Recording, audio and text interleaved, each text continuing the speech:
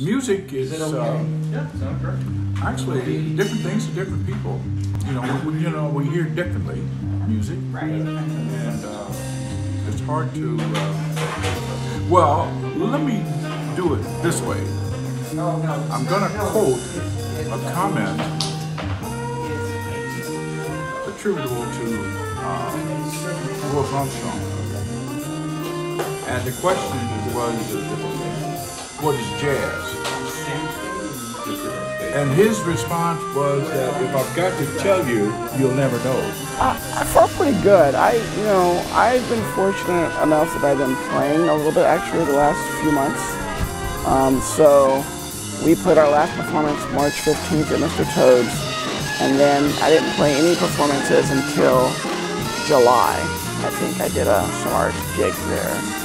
So I took a lot of time off where there would be like three weeks where I didn't touch my horn, I didn't even play. And then we played outside here and there last summer. Well, what's wrong with this guy? He said, oh, that's Luigi. I said, well, who is he?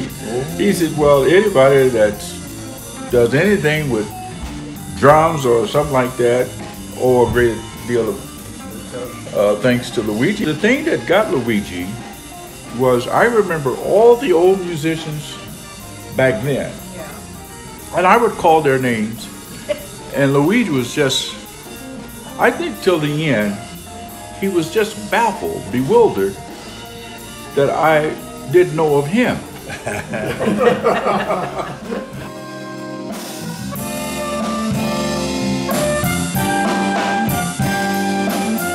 Like you have a best friend. You don't talk to that best friend for like six weeks, but then you guys hang out. You pick right back up where you left off. That's what it was like for me tonight.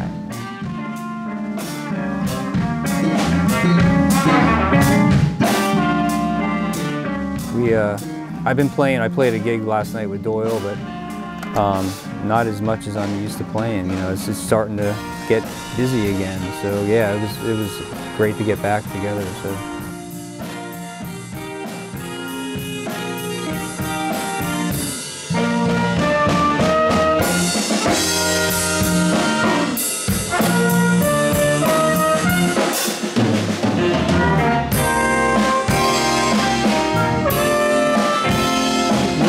Is a little bit for somebody who does it all the time. It is kind of like uh, it, it's like breathing and having conversations, and it's like coming alive again for for a lot of us.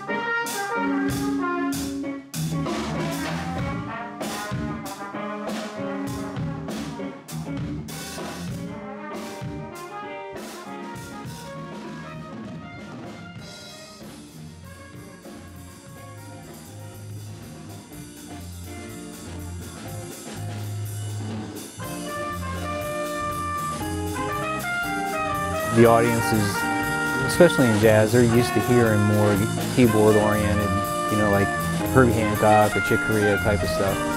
So it's it's not as common to have a guitar player as the accompaniment player.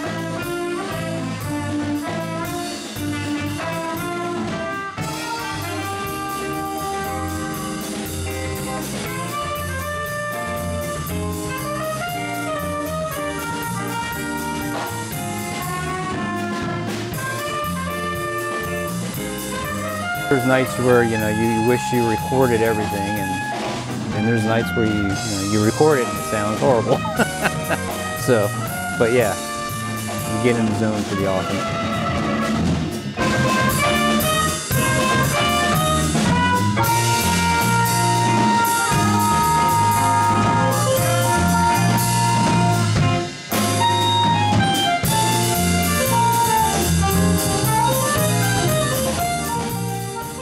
First time I've ever played it with the band. It's the first time it's been out. I've only had it about two months.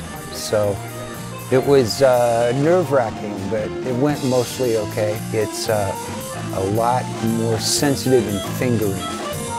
So one false move and it, it plays a note you didn't mean to play. So I'm still working on that.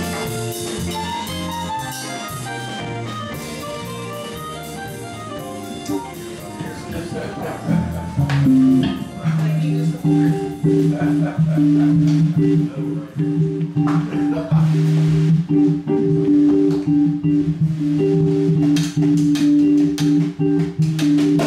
moved back to Omaha and uh, he was said, "Hey man, I'm looking for a bass player for Luigi because he was playing with Luigi's band." And I went, "Yeah, sure, I'll do that." But uh, yeah, and then well, I've been there ever since. But also, it's like if you hadn't seen them for a while, you can bring something new into it. So like you know, it it stays fresh. It doesn't like you know, it's always the same stuff all the time because you know as you move through life, there's always going to be something new to bring into that. This guy here's we're from Omaha. I said, Oh, do you do you know, You know a, this- a vibe player in? Omaha? You're from Omaha. His, his name. He. I said, Will you Luigi? And He went, Wow. you know Luigi? He says everybody in Omaha. knows him."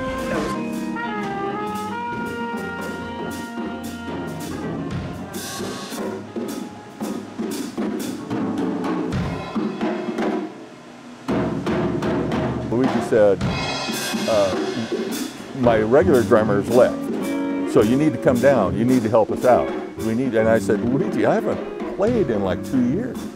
And he said, that's okay. I said, "Yeah, it'll be all right. he always said stuff like that. "Oh, it'll be all right. Uh, we'll, fi- we'll figure it out. So I went down and I played. And uh, so, I, you know, I played for a couple weeks and, and a couple weeks turned into a couple months. And I said, Luigi, how's that search going? He goes, oh, we found the drummer. it was me. Blow that smoke right in my face, man. Oh my. you can't smoke it. Yeah, come on, man. Shotgun me, baby.